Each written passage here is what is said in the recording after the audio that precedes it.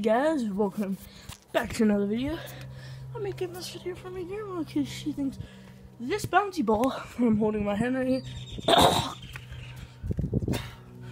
will bounce if I put it on the tra trampoline. But that's not how physics works. You see,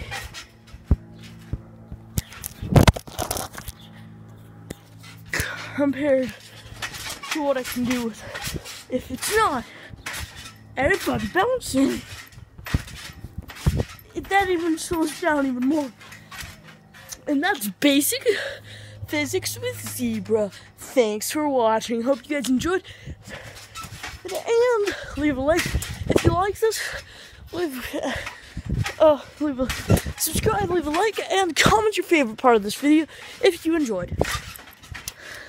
Now, guys, I'm gonna show this to my grandma.